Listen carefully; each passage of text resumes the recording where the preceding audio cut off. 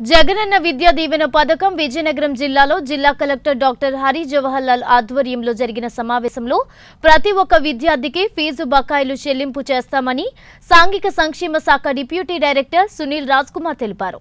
సాంఘిక సంక్షేమ శాఖ కార్యాలయంలో నైన్టీ న్యూస్ ప్రతినిధితో ఆయన మాట్లాడుతూ జగనన్న విద్యా దీవెన పథకం అనేది పూర్తి ఫీజు రియంబర్స్మెంట్ పథకమని ఈ పథకం కింద యాభై తొమ్మిది వేల ఆరు వందల ఎనభై ఎనిమిది మంది విద్యార్థులకు గాను నూట అరవై మూడు కోట్లు విడుదల చేయడమైంది అన్నారు.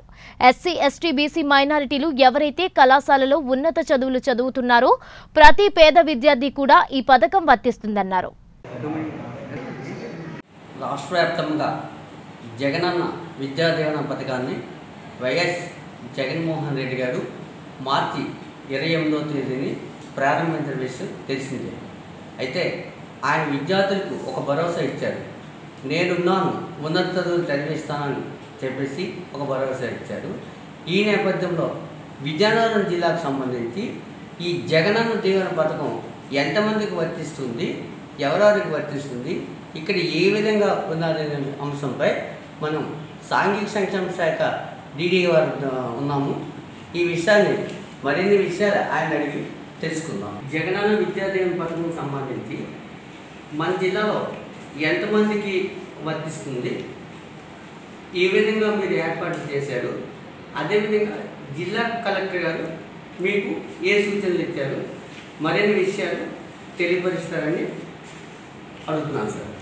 జగనన్న విద్యా దీవెన పూర్తి ఫీజు రీయింబర్స్మెంట్ పథకం యాభై తొమ్మిది వేల ఆరు వందల ఎనభై ఎనిమిది మంది విద్యార్థులకు వర్తిస్తుంది. ఇందులో SC ST BC EBC minority విద్యార్థులందరూ కూడా మరి ఎవరైతే ఉన్నత చదువులు చదువుతున్నారో కళాశాలలో ప్రతి పేద విద్యార్థికి కూడా ఈ జగనన్న విద్యా దీవెన వర్తిస్తుంది. రెండు వేల ముప్పై కాపు పద్నాలుగు వందల తొంభై నాలుగు ముస్లిం మైనారిటీ ఐదు వందల నాలుగు క్రిస్టియన్ మైనారిటీ అరవై ఆరు వెరసి యాభై తొమ్మిది వేల ఆరు వందల ఎనభై ఎనిమిది మంది మనకి ఇందులో లబ్ధి పొందుతున్నారు. ఆర్థికంగా చూస్తే మొత్తం కలిపి నూట అరవై మూడు కోట్ల రూపాయల నలభై లక్షల రూపాయలు మనము వీరికి జమ చేయడం జరుగుతుంది ఎస్సీ విద్యార్థులకు బీసీ విద్యార్థులకు మైనారిటీ అందరికీ కలిపి మన జిల్లాలో ఈ పథకం కింద నూట అరవై మూడు కోట్ల రూపాయలు జమ చేయడం జరిగింది. అయితే మన గౌరవ ముఖ్యమంత్రి గారి ఆదేశాలు పురస్కరించుకొని మన జిల్లా కలెక్టర్ గారు సంబంధిత అధికారులందరికీ సూచనలు చేయడం జరిగింది. ఇక్కడ బీసీ వెల్ఫేర్ అధికారికి గిరిజన సంక్షేమ అధికారికి సాంఘిక సంక్షేమ అధికారికి మైనారిటీ వెల్ఫేర్ అధికారికి వికలాంగ సంక్షేమ అధికారికి అందరికీ కూడా ఆదేశాలు ఇవ్వడం జరిగింది. ఏ ఒక్క విద్యార్థి అర్హత ఉండి ఈ ఫీజు రాకుండా ఎవరు మిస్ కాకూడదు. అర్హత ఉన్న ప్రతి విద్యార్థి తాలూకా ఫీజు రీంబర్స్మెంట్ జరగాలి. అలాగే ఈ వచ్చే ఆర్థిక సంవత్సరం నుంచి ప్రతి తల్లికి కూడా అర్హత కలిగిన తల్లికి బ్యాంక్ అకౌంట్లో నేరుగా డబ్బులు జమ చేయాలని ఆదేశించారు. జిల్లా కలెక్టర్ గారి ఆదేశాల మేరకు మనం అన్ని రకాల ఏర్పాట్లు చేస్తున్నాము. కళాశాలలో విద్యార్థుల తాలూకా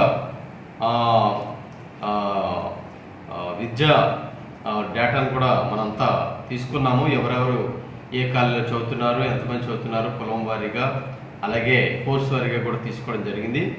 వారందరి వివరాలు ఆన్లైన్లో పొందుపరిచి వారందరికీ కూడా మనం ఈ జగనన్న విద్యార్థిని పథకాన్ని వర్తింపజేయడానికి అన్ని రకాల చర్యలు తీసుకుంటున్నాం. గతంలో full fee reimbursement YS Rajasekhara Reddy గారి ముఖ్యమంత్రిగా ఉన్న టైంలో ఉండింది.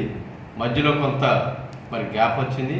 తర్వాత ఇప్పుడు మళ్ళీ గౌరవ ముఖ్యమంత్రి గారు మళ్ళీ ఫుల్ ఫీజు రీయింబర్స్మెంట్ పెట్టారు.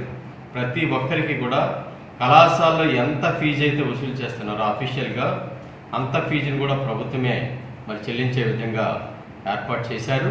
దీన్ని సంవత్సరంలో నాలుగు దఫాలుగా మూడు నెలలకు ఒకసారి మూడు నెలలకు ఒకసారి మూడు నెలలకు ఒకసారి మూడు నెలలకు ఒకసారి నాలుగు క్వార్టర్స్ గాను ఆ తల్లుల అకౌంట్లో జమ చేయడం జరుగుతుంది.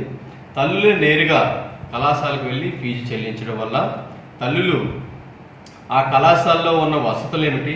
విద్యా స్టాండర్డ్స్ ఏంటి? వారి స్థాయి ఏమిటి? పిల్లలు చదువుకుంటున్న తీరేమిటి ఆ పాఠశాలలో లెక్చరర్లు కానీ అధ్యాపక సిబ్బంది కానీ ఏ విధంగా ఉన్నారు? బాగా పనిచేస్తున్నారా?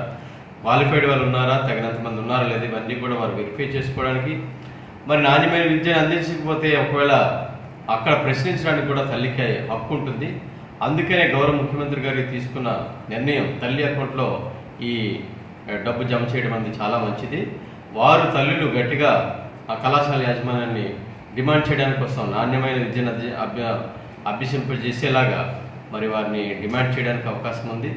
తర్వాత విద్యార్థులు కూడా మరి డెబ్బై శాతం హాజరు కంపల్సరీగా ఉందా లేదా వారి పిల్లలు మరి రెగ్యులర్గా కళాశాలకు వెళ్తున్నారా లేదా కూడా తల్లి చెక్ చేసుకొని ఒకవేళ తక్కువైతే విద్యార్థికి నచ్చజెప్పి మళ్ళీ కళాశాలకు పంపించి ఏర్పాటు చేయడానికి కూడా అవకాశం ఉంటుంది. ఇదివరకే జగనన్న వసతి దీవెన అనే కార్యక్రమాన్ని గౌరవ ముఖ్యమంత్రి గారు మన జిల్లా నుంచే ప్రారంభించారు ఫిబ్రవరిలో. అందులో ప్రతి ఒక్క విద్యార్థికి కూడా రాను పోను కాలేజీకి వెళ్ళడానికి ఇంటి దగ్గర నుంచి చాలా ఖర్చు అవుతుంది. బస్ ఛార్జీల కోసం భోజన ఖర్చుల కోసం వసతి ఖర్చుల కోసం.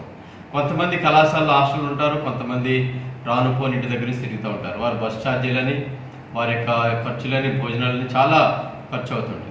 పేద విద్యార్థులు అది భరించలేక తల్లిదండ్రులు అప్పులు పాలవుతున్న ఉద్దేశంతో గౌరవ ముఖ్యమంత్రి గారు జగనన్న వసతి దీవెన కార్యక్రమాన్ని మన జిల్లా నుంచి ప్రారంభించారు. అప్పుడు అందరి తల్లి అకౌంట్లు కూడా వసతి దీవెన కింద పదివేల రూపాయలు జమ చేయడం జరిగింది. ఈ పదివేల రూపాయలు ఏంటంటే వారి వసతి కోసం వారి యొక్క భోజనం కోసం వారి యొక్క ప్రయాణ ఖర్చుల నిమిత్తం వారి చేతి ఖర్చుల నిమిత్తం తల్లికి తండ్రికి ఇబ్బంది లేకుండా వారికి ఆర్థిక భారం లేకుండా ఇదంతా కూడా ప్రభుత్వం భరించే విధంగా గౌరవ ముఖ్యమంత్రి గారు చర్య తీసుకోవడం జరిగింది. మరి ఈ మధ్యకాలంలో మీరు చూశారు గౌరవ ముఖ్యమంత్రి గారు వీడియో కాన్ఫరెన్స్లో జగన్ విద్యార్థుల కార్యక్రమాన్ని ప్రారంభించినప్పుడు మరి తల్లులు విద్యార్థులు కళాశాల యాజమాన్యాల వారు అందరూ కూడా వారి యొక్క అభిప్రాయాన్ని వెలిపించడం జరిగింది. వారందరూ కూడా చాలా సంతోషం వ్యక్తం చేశారు. మరి ఇటువంటి పథకం ప్రవేశపెట్టడం వల్ల ఎంతోమంది మరి పేద విద్యార్థులు ఉన్నత విద్యను అభ్యసించడానికి కోసం ఐఏఎస్ ఆఫీసర్ అవ్వాలి ఐపీఎస్ ఆఫీసర్ అవ్వాలి వారు ఇంకా ఉన్నత శిఖరాలు అధిరోహించాలని ఏదైతే ముఖ్యమంత్రి గారు కలలుకుంటున్నారో వారి యొక్క ఆశయం ఏదైతే ఉందో దాన్ని నెరవేర్చడానికి కోసం మరి అందరూ కూడా కష్టపడి చదవడానికి వారు ముందుకు వస్తున్నారు బాగా స్ఫూర్తి పొందారు. గౌరవ ముఖ్యమంత్రి గారి మాటల ద్వారా వారి యొక్క ఈ పథకం ద్వారా స్ఫూర్తి పొంది ఇంకా మేము ఉన్నత చదువుతాము. మరి మంచి మంచి ఉద్యోగాలు సంపాదించుకుంటాము. తల్లిదండ్రులని పోషించుకుంటాం మేము కూడా మా కాళ్ళ మీద మేము నిలబడతాం అన్నటువంటి భరోసా మాకు లభించిందని వారందరూ కూడా తెలియజేయడం జరిగింది. అదే కాకుండా తల్లిదండ్రులు కూడా మేము పిల్లల్ని చదివించుకోవడానికి ఎంతగానో అప్పులు పాలైపోతున్నాం. మేము చిన్న చిన్న వ్యాపారాలు చేసుకొని చిన్న చిన్న కూలీ పనులు చేసుకొని తల్లి పిల్లల్ని ఉన్నత చదువు చదివించలేకపోతున్నాం. మేము ఇద్దరు పిల్లలుంటే ఒక పిల్లల్ని చదివించి ఇంకో పిల్లల్ని చదివించలేని పరిస్థితి.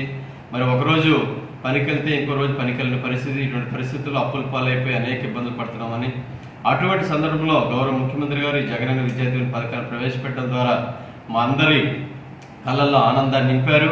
మా యొక్క గృహాల్లో సంతోషాన్ని వెలిగించారని వారందరూ ఆ, కొనియాడడం జరిగింది. ఇది కాకుండా కళాశాల యాజమాన్యంలో కూడా మేము మూడు సంవత్సరాల నుంచి విద్యార్థులకు చదివి చెప్పడానికి అధ్యాపకుల్ని మనం పెట్టాము. వారందరికీ జీతాలు ఇవ్వలేక కరెంటు బిల్లులు కట్టలేక కళాశాల నడపడం చాలా కష్టపడ్డాము.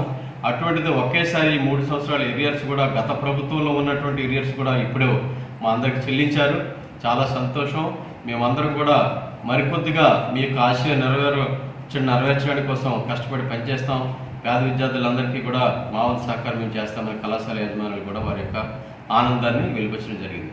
మరి మన జిల్లాలో గౌరవ ముఖ్యమంత్రి గారి సూచనల మేరకు మన గౌరవ ఉప ముఖ్యమంత్రి గారు అదేవిధంగా మన మున్సిపల్ శాఖ మార్చులు ఎప్పటికప్పుడు అధికారులతో సమీక్షలు నిర్వహిస్తూ వారికి సూచనలు ఇస్తూ ముఖ్యమంత్రి గారి ఆదేశాలు నెరవేర్చడంలో అన్ని రకాలుగా సహకరిస్తూ ఈ జగనన్న విద్యాదీవన పథకాన్ని ముందుకు తీసుకెళ్ళడానికి వారు మాకు సహకారం సూచనలు అందిస్తున్నారు. వారికి హృదయపూర్వక ధన్యవాదాలు. తర్వాత గౌరవ ఎమ్మెల్యే అందరూ అందరూ కూడా ఈ పథకంలో ప్రతి ఒక్కరూ లబ్ధి పొందాలి ఎవరు అర్హత కలిగిన వాళ్ళు మరి మరి లిఫ్ట్ అదే దీంట్లో నుంచి లబ్ధి పొందకుండా బయట ఉండకూడదని వారు కూడా అందరికీ కూడా ఎప్పటికప్పుడు సూచనలు సలహాలు ఇస్తున్నారు. దాని ప్రకారం జిల్లా కలెక్టర్ ఆదేశాల మేరకు మేమంతా కూడా అన్ని శాఖల అన్ని సంక్షేమ శాఖల అధికారులు ముందుకు వెళ్ళడం జరుగుతుంది. జగనన్న విద్యాదీవన్ పథకం సంబంధించి విజయనగరం జిల్లాలో యాభై తొమ్మిది వేల ఆరు వందల అరవై ఎనిమిది విద్యార్థులకు గాను నూట ముప్పై ఆరు కోట్లు రిలీజ్ అయినట్లు చెప్పారు. అయితే ఎటువంటి ఇబ్బంది లేకుండా విద్యార్థులు అందరికీ ఈ మొత్తాన్ని అందజేయడం జరుగుతుందని social welfare DD Sunil Raj Kumar గారు తెలిపారు. నైన్టీన్ న్యూస్ కెమెరామెన్తో రవి విజయనగరం